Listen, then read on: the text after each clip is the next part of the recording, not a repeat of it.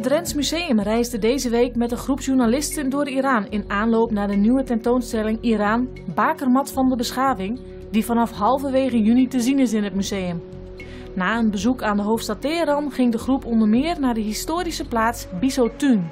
Bisotun is een hele bijzondere plek hier in Iran. Niet alleen voor het land, maar ook voor ons, voor de tentoonstelling. Hier op deze plek heeft koning Darius in 520 voor Christus zichzelf laten vereeuwigen. De zijderoute die kwam hier ook langs. Darius heeft dus hier op een hele strategische plek heeft hij hier zijn macht als koning der koningen vast willen leggen. En dit willen wij bij ons in de tentoonstelling in het Drents Museum echt één op één proberen na te maken, zodat iedereen kan zien hoe imposant dat hier is.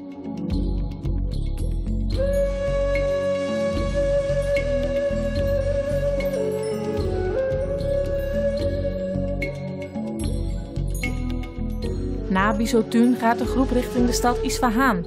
Deze stad, met ruim 1,7 miljoen inwoners, was twee keer de hoofdstad van het Perzische Rijk. گفتم غم تو دارم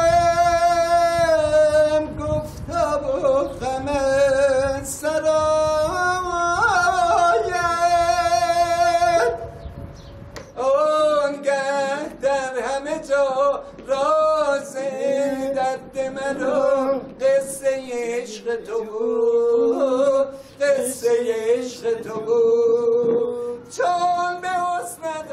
We're Iranian. We believe Isfahan is uh, half the world. That means half of the beauty of the world is here in Isfahan. And I believe whoever is living on this earth should uh, make a travel at least once to this town.